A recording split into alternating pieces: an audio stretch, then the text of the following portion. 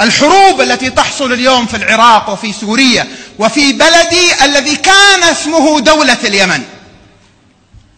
ولم تعد لنا دولة. لا حكومة على الصورة أو لا ملحقنا العسكري. صعب أنت تجيب معذور.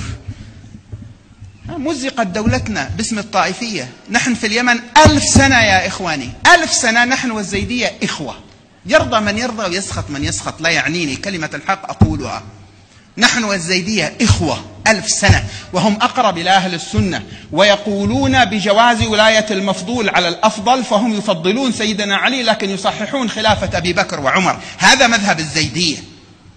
أثيرت فتنة خلال الثلاثين السنة الماضية. جاءت مذاهب ليست من اليمن. نحن في اليمن شافعية وزيدية وأقلية حنفية وأقلية إسماعيلية وطائفة يهودية موجودة من قبل الإسلام في اليمن.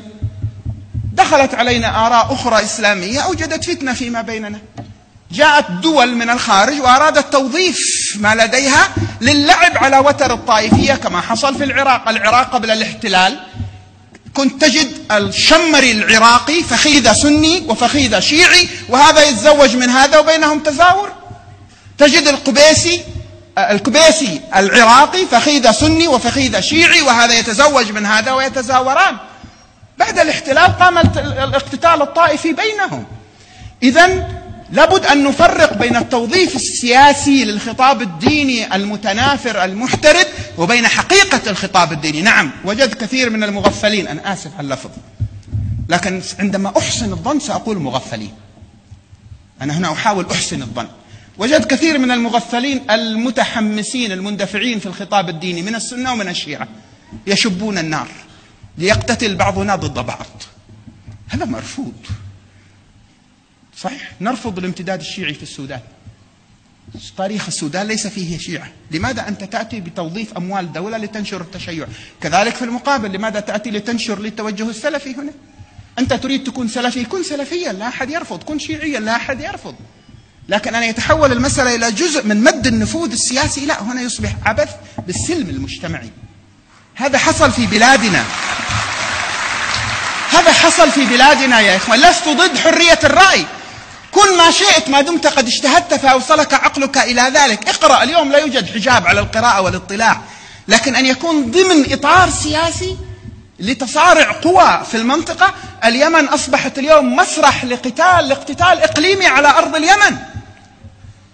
لا لا لا نرضى أن يحصل بالسودان ما حصل عندنا. أو يتكرر ما حصل في في في, في سوريا في العراق. صلى الله أن يفرج عن الجميع. ليبيا على مدى التاريخ وهي أشعرية مالكية. أليس كذلك؟ ليبيا على مدى التاريخ أشعرية مالكية وعلى مشرب الجنيد. بلد المنارات. منارات يعني مدارس تحفيظ القرآن. من أكثر البلاد اعتناء بحفظ القرآن الكريم. أصبح أهلها اليوم يقتتلون باسم الدين. هذا يرى الثاني كافر وهذا يرى الثاني مرتد. لا. وجب الآن على علماء الدين ودعاتهم أن يصطفوا صفا واحدا وسامحوني على الجرأة وسوء الأدب سادتي العلماء. وإن كنت مخطئا صوبوني وجب علينا اليوم أن نصطف صفا واحدا لننتزع الخطاب الشرعي من الأيدي التي تعبث به. الخطاب الديني الخطاب الديني تم اختطافه. وعلينا واجب جهادي في أن نسترد هذا الخطاب ممن يلعب به ويعبث به. الناس اليوم صارت تتجه إلى الإلحاد. الشباب يتوجهون للإلحاد.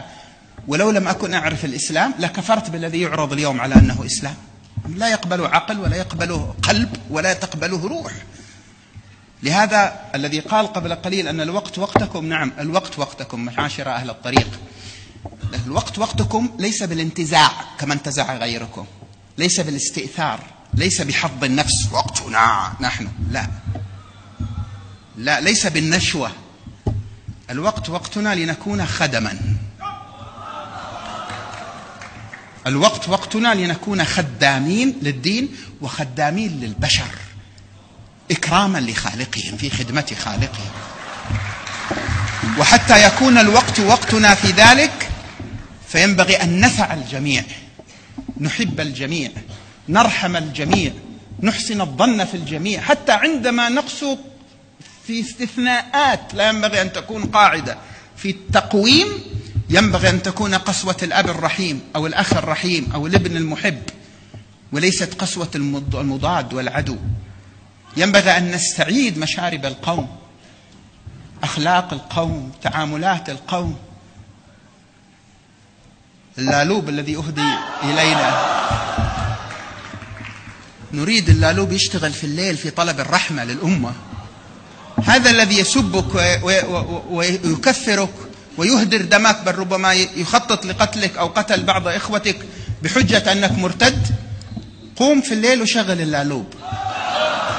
لكن انتبه لا تشغل اللالوب في الدعاء عليه. اللالوب ما لهذا صنع. وبعدين لو حصلت له مصيبة تقول الله أكبر كرامة. ما كرامة. شغل اللالوب في الليل في طلب الهداية له. شغل اللالوب في الليل في طلب استمطار الرحمة لقلبه.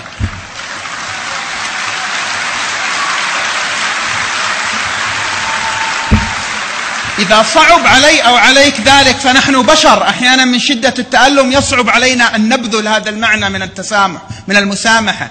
إذا صعب عليك شغل اللالوب بنية تطهير قلبك.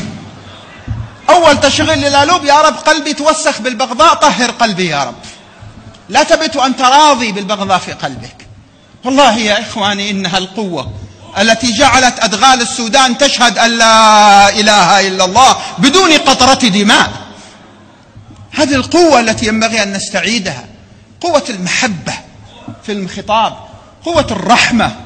قوة الاحتمال مقابلة الإساءة بالإحسان. ما ازداد عبد بعفو إلا عزا